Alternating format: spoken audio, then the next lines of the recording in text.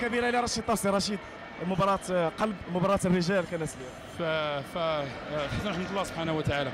وهذا يمكن آه، آه، استهل بآية قرآنية. كما قال فإن يعلم الله في قلوبكم خيرا يؤتكم خيرا. وهذه استمتها من صاحب جلاله البارح في البرلمان فاش قالها وقلتها للاعبين كذلك.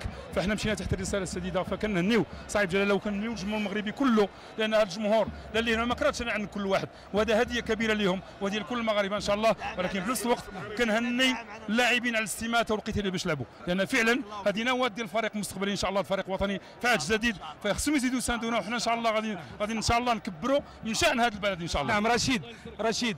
في اللحظه اللي كان المنتخب الوطني المغربي متقدم بهدف مقابل شيء ربما الضغط ارتفع أكثر. لكن كان مجموعة ديال التغييرات خصوصا دخول السعيدي كذلك إشراك ياجور إشراك مرابط أشياء غيرات. كيفاش شفتي الرؤية وكيفاش تعامل رشيد مع هذه المقابلة؟ خصوصا كانت حساسه وفيها فرق ديال جوج الأهداف. فتظهر لي بأن وأنا وأنا وأنا مازال سخون.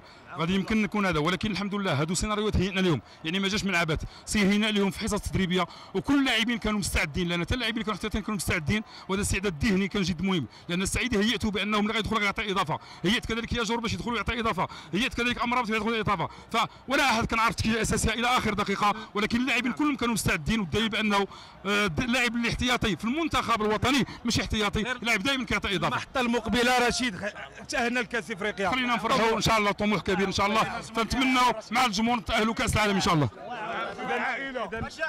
خليد خليد